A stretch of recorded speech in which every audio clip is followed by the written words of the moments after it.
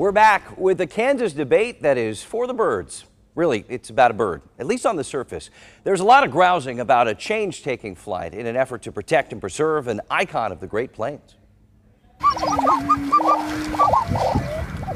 Meet Tympanuchus pallidicinctus, also known as the lesser prairie chicken.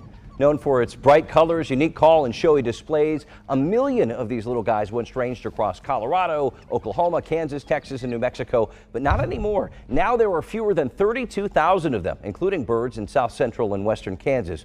Late last year, the U.S. Fish and Wildlife Service listed the species as threatened in that area, working to protect the native grasslands and prairies it calls home. But here's the rub. Development shrank the natural range for these birds over the years, and about 95% of what's left is privately owned by farmers, ranchers, energy producers. Republican critics of upgrading the status to threatened, like Kansas Senator Roger Marshall, are worried about what further restrictions could mean. So whenever you add rules and regulations, it drives up the cost of doing business. It's going to drive up the cost of doing business for farmers and ranchers, and that equals higher prices at the grocery stores. And again, the senator is quick to point out he believes the classification change also means a tougher time for oil, gas, and wind energy producers in western Kansas. The House in Washington passed a repeal of the decision, but it stalled in the Senate, and President Biden has said that he'd veto that measure. Joining me now to get to the heart of this issue, please welcome Jackie Augustine, Executive Director of Audubon of Kansas. It's it's a conservation group that supported this change. Uh, thanks for being here on a topic we don't usually get to talk a lot about here on the program. Uh, you earned your PhD in biology from K-State studying prairie chickens, and we know for the last decade you've been studying their habitat. How big of an issue is this really in your opinion? I think it's going to provide a lot of protections for the bird that haven't been uh, present uh, previously. I mean, we've been relying on voluntary conservation. That hasn't been enough to increase populations, and so I hope this will bring further conservation initiatives. So the lesser prairie chicken in our area in Kansas is threatened. In other parts, uh, especially in the Southwest, it's listed as endangered. What does this change? You, you mentioned that it, will provide more protection. Does it provide further restrictions as well for people who live around these habitats?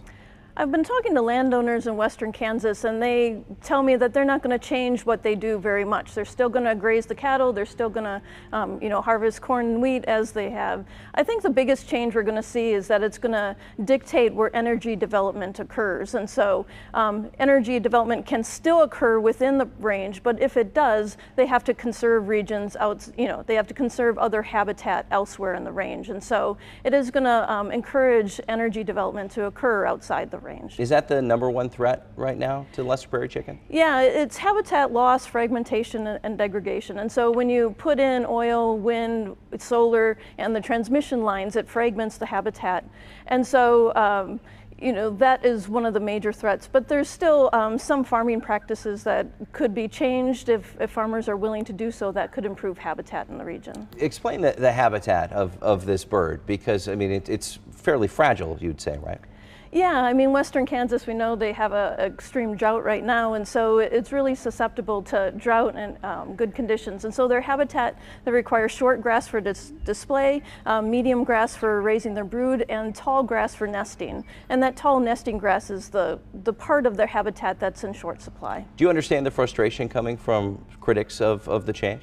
Yes, I do, because, um, you know, I think change is hard in any case, and um, we're talking uh, you know, if a county is restricted from having oil and energy development, that does um, limit some of the economic opportunities. But I think if we take a long-term view, um, if we can get the populations back up, that those uh, energy development could happen again. And real quick, what's Audubon of Kansas doing right now on this issue?